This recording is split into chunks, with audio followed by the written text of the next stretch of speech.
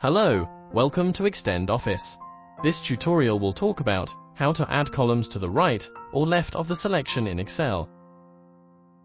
This article will introduce Add one or more columns to the right.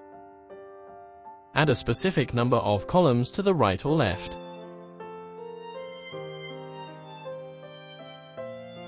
Normally, when you apply the Insert feature in Excel to insert a blank column, the new column will be inserted to the left of selected column. If you aim to insert columns to the right, or insert a specific number of columns to the right or left, Kutools for Excel's Add to Right and Add Columns features can swiftly assist you in accomplishing these tasks. Add one or more columns to the right. After downloading and installing Kutools for Excel,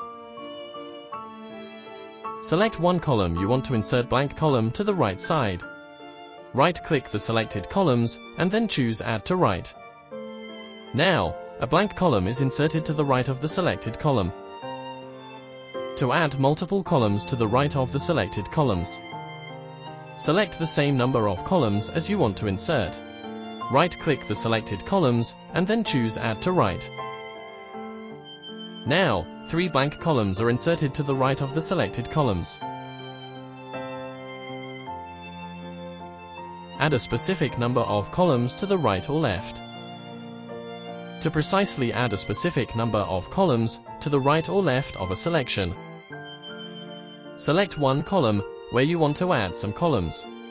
Right-click the selected column and choose Add Columns. In the Add Columns dialog box, Specify the position where you want to insert the columns. Here, I will choose the right of the selection. Input the desired number of columns to be inserted in the columns box. Then, click OK. Now, the desired number of columns has been inserted to the right of the selected column. Thanks for watching.